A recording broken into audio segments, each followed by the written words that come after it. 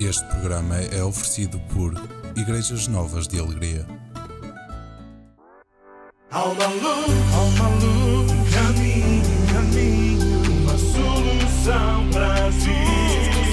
Há esperança, sim, há esperança, sim, há esperança para ti. Olá e bem-vindo a mais um programa A Esperança. Hoje gostaria de falar consigo acerca de caminharmos sobre as águas. Aquele conhecido episódio dos Evangelhos, onde os discípulos estavam dentro do barco, açoitado pelas ondas, e começaram a ver Jesus a andar sobre as águas.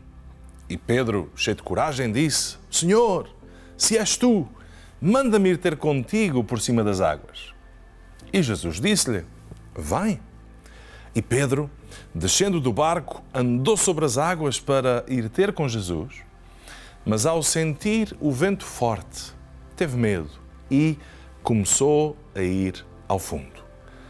Aí ele clamou, dizendo: Senhor, salva-me, ajuda-me. E logo Jesus, estendendo a mão, segurou-o e disse-lhe: Homem de pequena fé, por que duvidaste? Na nossa vida, por vezes, nós sentimos-nos como Pedro. Umas vezes estamos cheios de coragem para novos desafios, outras vezes parece que estamos a afundar. E o medo a parecer querer tomar lugar na nossa vida e dentro de nós.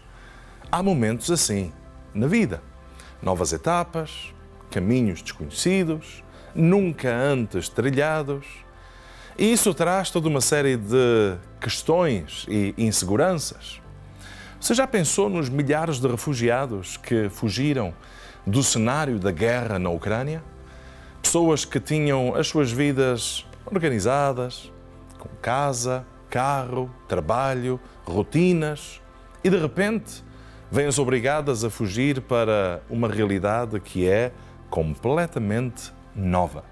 Obrigados a começar do zero e a deixar tudo o que construíram para trás sem certezas, sem garantias de absolutamente nada. De repente tornaram-se sem abrigo e a viver à mercê da solidariedade dos outros.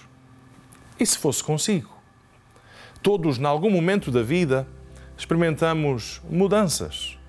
Mudança na carreira, mudança na família, alguém que perdeu o emprego, um divórcio, que obriga a um reajuste completo de tudo, a perda de alguém que amamos, a mudança para um país diferente.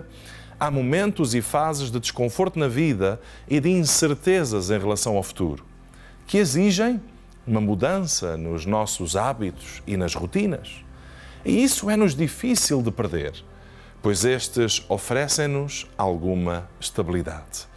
Ficamos a pensar sobre aquilo que vai substituir o que estamos a perder naquele momento. Começar algo novo sempre traz um sentimento de perda, na medida em que tentamos refazer ou criar um novo futuro.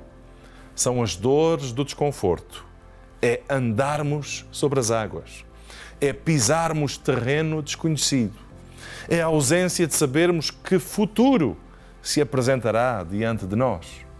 Todos passamos por essas fases na vida.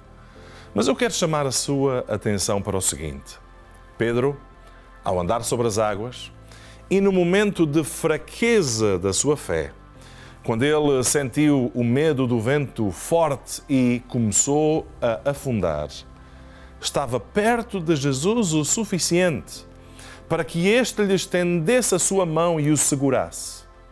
Todos temos altos e baixos na vida. Todos, em algum momento, temos que andar sobre as águas e abraçar uma realidade que é nova e desconhecida, que estica os níveis da nossa fé a alturas que nós nem sempre alcançamos. Mas se estivermos em Cristo e Cristo estiver em nós, temos um que nos ama e que no momento da necessidade nos levanta com a sua mão e nos leva para um lugar seguro. Que Deus abençoe a sua vida. Este foi o programa A Esperança, apresentado pela Igreja Novas de Alegria, em Toronto. Já sabe, que esperamos a sua visita aqui mesmo. Eu chamo-me Rui Nunes e é sempre um prazer estar consigo. Luz, luz,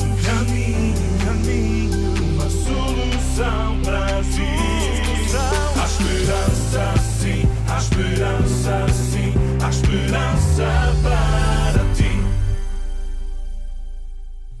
Este programa foi oferecido por Igrejas Novas de Alegria.